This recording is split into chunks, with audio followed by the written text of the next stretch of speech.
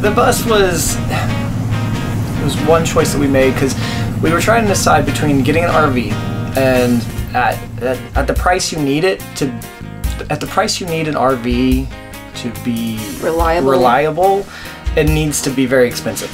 Um, and the engines when you look at them they're not reliable when they're under a couple thousand or like under 10,000 the engines aren't reliable the roof is leaking.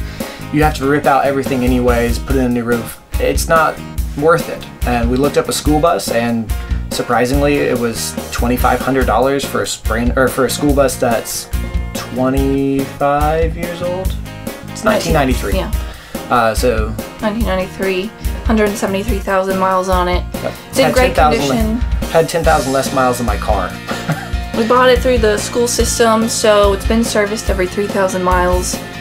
The engine's great.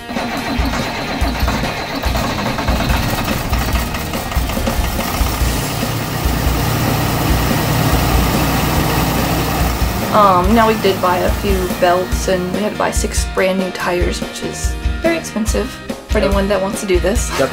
It was more expensive than the bus. um, but we wanted to make it our own, so there was very little demolition that we had to do. We just had to rip out the seats.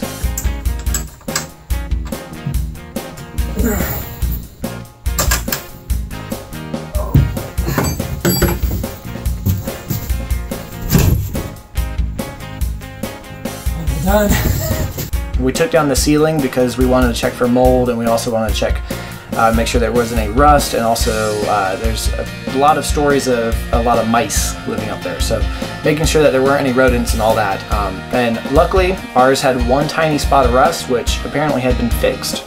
So we ripped out all, all that, put up new insulation, um, put up new ceilings, painted it, and then we've been working from the back to the front.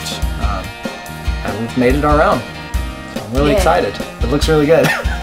I'm surprised. I'm not. I did a good job. oh yes, we did.